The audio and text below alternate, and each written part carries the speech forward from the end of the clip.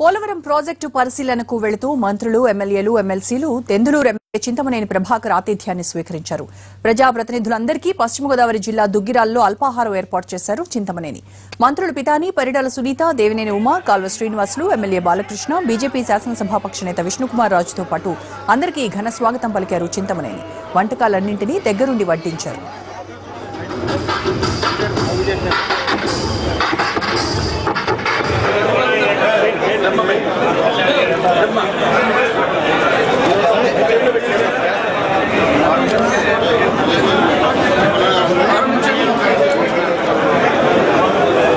కట్టడానికి అసెంబ్లీ రెండు రోజులు ప్రత్యేకంగా సెలవులు ప్రకటించి వెళుతూ వెళుతూ మన ఆంధ్రప్రదేశ్కి జీవనాడైనటువంటి పోలవరం ప్రాజెక్టు ఈ పనుల పురోగతి దాని యొక్క విధానాన్ని అందరినీ కూడా శాసనసభ్యులకి తెలియటం కోసం ఈరోజు అసెంబ్లీనే బస్సులను పెట్టి ఎమ్మెల్యేలందరినీ కూడా తీసుకెళ్ళింది.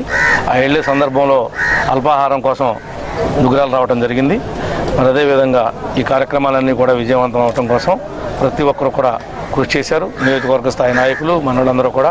వచ్చినటువంటి అతిథులు ఎవరు అతిథులు ఎవరికి కూడా ఇబ్బంది కలగకుండా మరి చూసినందుకు ప్రత్యేకంగా ప్రతి ఒక్కరికి కూడా కృతజ్ఞతలు తెలియజేస్తున్నాను